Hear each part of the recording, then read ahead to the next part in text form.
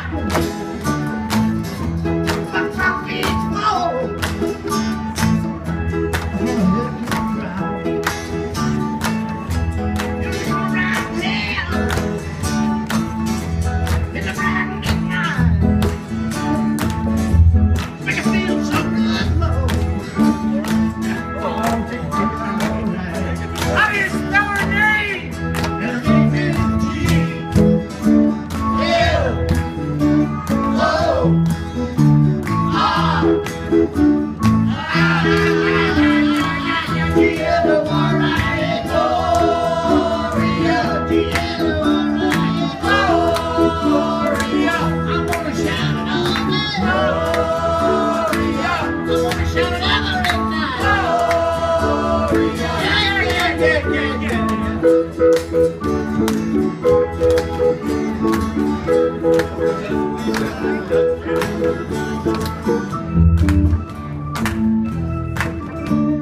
it down a little bit. Just coming around here.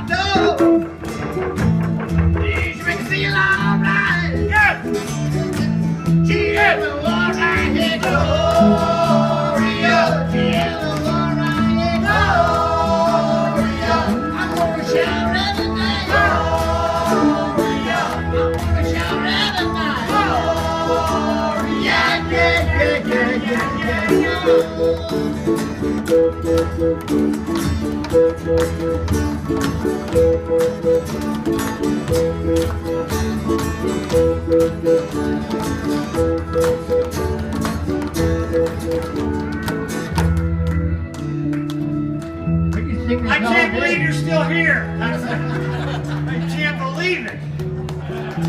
The exits, and they're not a band. These